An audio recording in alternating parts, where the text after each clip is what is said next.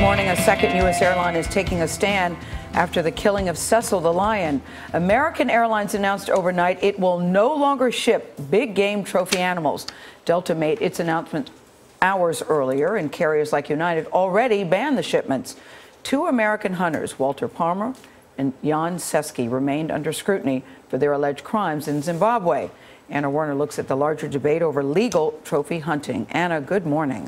Good morning. Well, big game hunters have felt the backlash ever since Cecil the lion was killed by a Minnesota dentist. They insist that hunting done ethically benefits endangered animals through millions of dollars funneled to conservation efforts. Those of us that care deeply about these animals, ethical and humane treatment, um, we're sickened by what we've seen.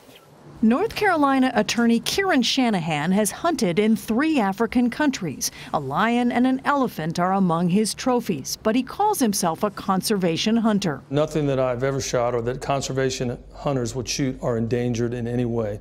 Secondly, the government has blessed and given permits for everything that a conservation hunter, including myself, has ever hunted. Supporters say hunting puts a tangible value on animals, giving locals an incentive to protect them and preserve their habitats.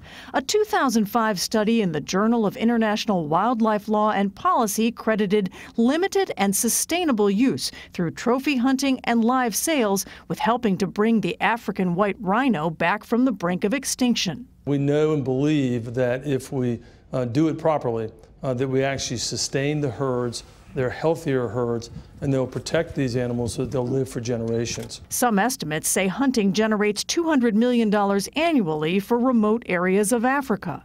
But a 2013 report prepared for the African Lion Coalition found that just 3% of hunting revenue ends up in local communities. Wayne Pacelle is president of the Humane Society of the U.S a part of the African Lion Coalition. We don't see any rationale to kill animals just as a head hunting exercise. It's pointless. It's one thing to kill animals for food.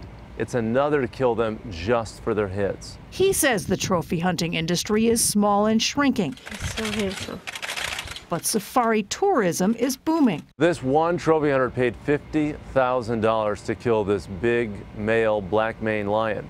There's no question that thousands of people went to Hwange National Park in Zimbabwe to see Cecil.